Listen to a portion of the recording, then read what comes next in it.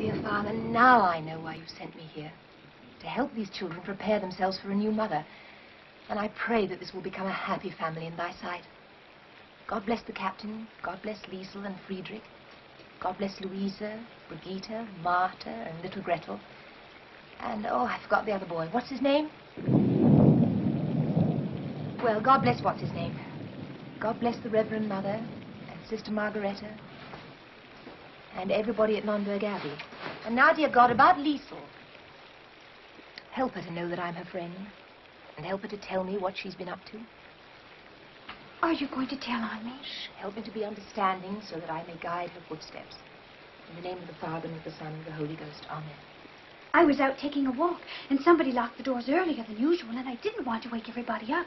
So when I saw your window open... You're not going to tell Father, are you?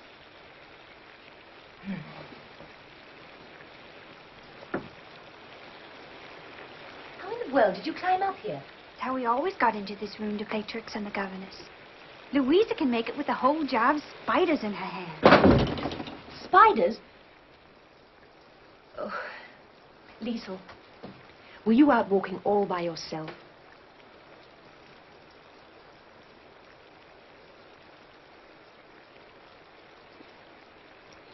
You know, if we wash that dress out tonight, nobody would notice it tomorrow.